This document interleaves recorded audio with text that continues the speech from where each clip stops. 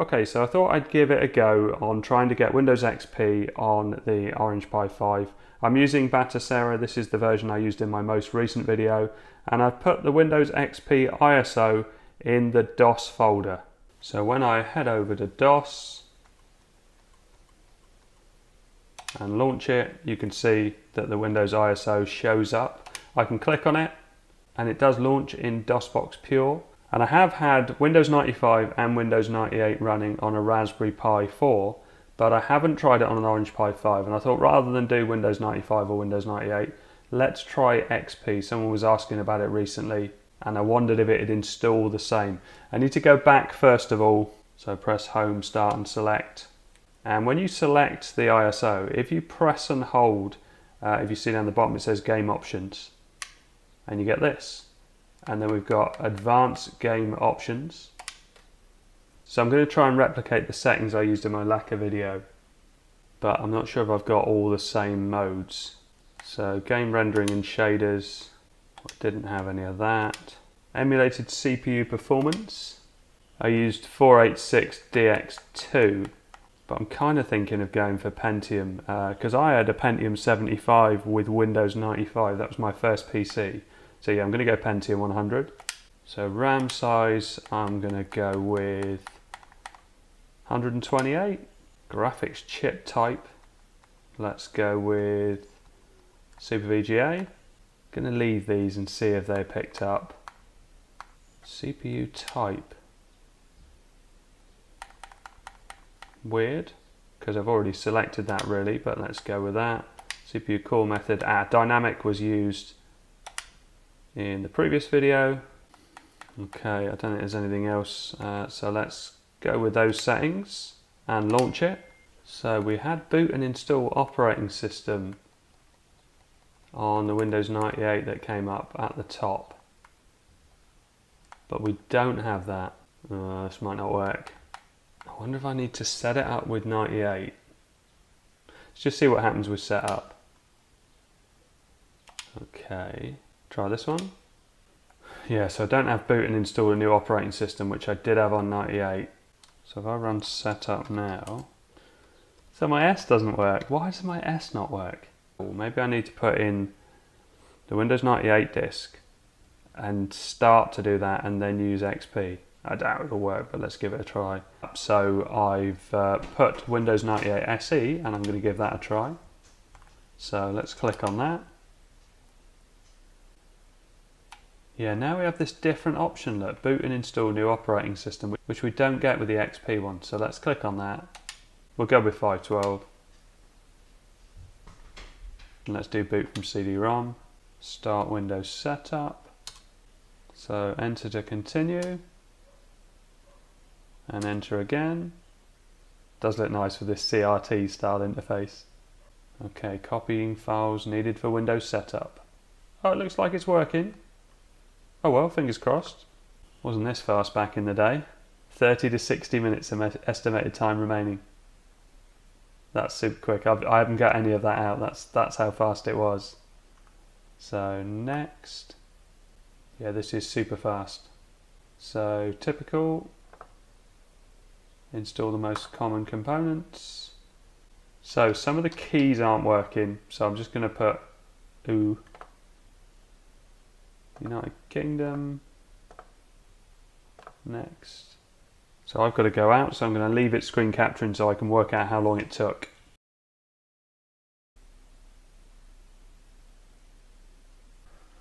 Put my name in, accept the license, and just put the last digit in using the on-screen keyboard because my Logitech keyboard doesn't work. You need a keyboard with a scroll lock.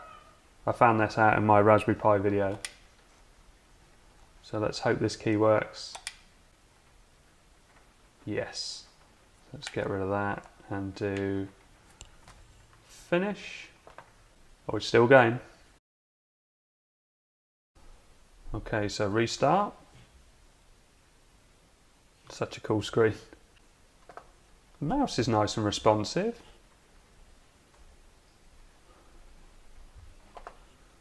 Nearly got the date right.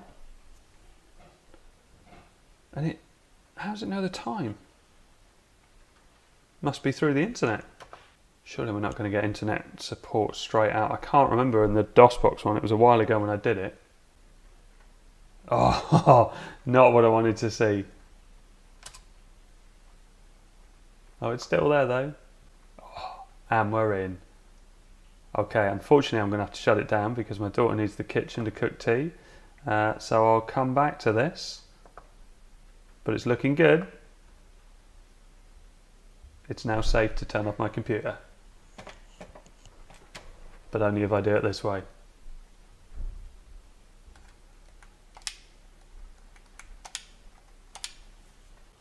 So it's a few days later, and uh, I've actually had to reinstall it because the installation uh, basically got to a point where it was locking up and I couldn't get it to work. But just to show what does work on it, uh, we do get quite a few errors. So you can see I can go through programs. This is the minimal version because I thought maybe try the minimal version and that might be more reliable, but it's coming up with the same errors. Uh, so you can see what's installed on it. So things like CD player, sound recorder, internet tools, system tools, so all of that seems to be all right. I think Notepad probably works. Yeah, and I can save that. Can I save that on the desktop? Let's see if it does let me close that down. Yeah, so you can see that's working and it's opening up. So certain things are absolutely fine. It's more Explorer that it seems to struggle with fact, let's see if CD player launches. Yeah, CD player launches. Obviously, I haven't got a disc in there, or not at least not an audio disc loaded up. So this is Explorer, and well, actually, it didn't come up with an error that time. And I have got Windows XP here, and I'm going to see if I can install it with XP. And I found that if I double click on this, it comes up with an error. But if I don't double click but right click and explore, it's obviously using a different component to do this and it does let me go a bit further. Uh, so you can see here documents, program files, windows. It lets me search around and it's pretty snappy, it's, it's pretty responsive. But what I really want is in here. So I have a setup here. Install Windows XP. Now I'm not sure if this is going to work, but I have read that you can update uh, from 98 SE to XP and it changes it to FAT32 file system, not FAT16. So I have no idea if this is going to work, but I thought I might as well have a look at it and see if it'll work. So I've just clicked on it, starting Windows setup, collecting information, and obviously this is like a virtual machine, so it's not it, it's not original hardware. So who knows what's going to happen on this? I definitely showed uh, Windows 95 and Windows 98 running on a Raspberry Pi 4 just to give you an idea of that and how to install games uh, and get various different things running. But you may have a problem on this on Orange Pi 5 because of that Explorer error. I guess if you're determined enough, you go through the DLLs and things uh, and see if they can be replaced or updated. Now, it's obviously preferable to have a clean install, but XP wouldn't let me clean install. But on my mid 2010 MacBook, which is running Windows 10 at the moment, uh, I actually ended up going from Windows 7 to Windows 8 to Windows 8.1 to Windows 10. And that way I got the NVIDIA drivers to work. And it works absolutely fine. I still use it to this day. Okay, so I'll take that as a positive. 60 to 90 minutes. Installation type upgrade or a new install. I'm going to have to go with upgrade because the new install definitely isn't going to work with DOSBox Pure. I think. So let's go with next. Accept the agreement and next. Ah, okay, fingers crossed. Because some programs or devices might not work with Windows XP setup will create a report of known issues for your computer. Well, I've gone for the minimal install, so I haven't got very many programs on there anyway. So let's just go with that. Oh, no, I'm going to have to skip those because I don't think I've got internet. As long as it doesn't give up. It looks like it's not giving up. Windows XP Professional sports a visual design that combines a sleek look, clean lines and appealing colours with a task-oriented design and exceptionally streamlined navigation. It was a cool operating system. Oh no, look. Am I going to contact Microsoft technical support? I don't think that's going to help me. Ah, oh, it's a shame. I wonder if it carries on. You know, sometimes when things crash like that, they actually carry on in the background. And I can see this is still moving. Well, I guess I've got the clean install option. Okay, so I think this animation probably just happens regardless. So let's just hit OK. Okay, let's go back. Will it let me go? Oh yeah, so it goes more about the setup, perform additional tasks, check system compatibility, install, and see if it will let me do a clean install. Maybe it will format it and everything. Another copy of this application is already running. Oh. So if I could do Control Alt Delete, I think it um, it quits out. So let's avoid that. System information. Hardware resources. Components. Software environment. 64 meg of RAM. What tools have we got in here? DX Diag. Multitasking alright, isn't it? DirectX drivers. Okay, well all that, it, it's, oh, DOS crashed. Oh, okay. Oh, it's properly crashed, is it? Yeah, my mouse has stopped working. So let's, I'm gonna have to do Control Alt Delete, which usually just, yeah, quits it back out and restarts. Okay, so run installed operating system.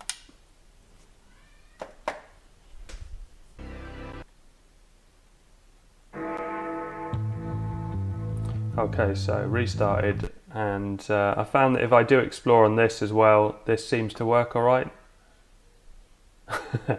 well, it did before. Let's try that again. Explore, yeah. Uh, and so this must be the XP disk. Autoplay.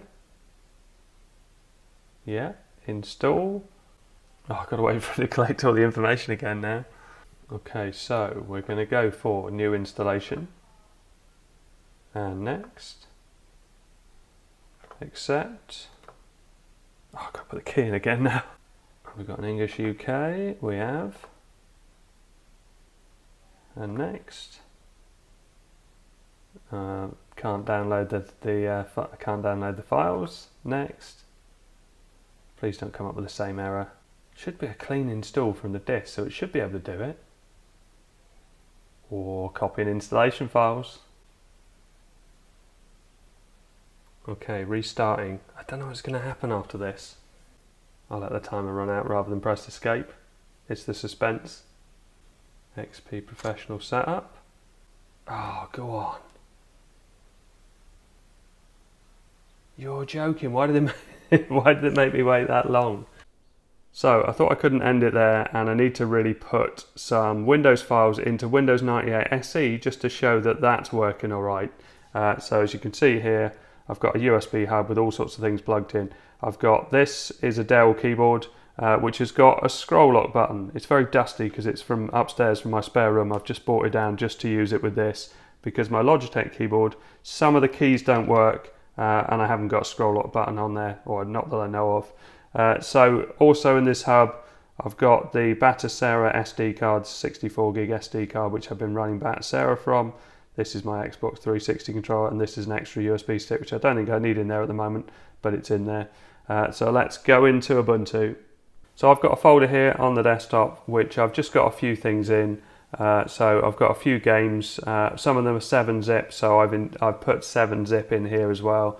Spectrum emulator, PaintShop Pro, which I've already installed, but just to show how it works, because it seems to only read zipped folders uh, in DOSBox Pure, which is fine uh, because all you need to do is right click on it and compress and then just pick .zip. You can see it, it I think it defaulted to tar.xz, but pick .zip and hit create and you'll end up with something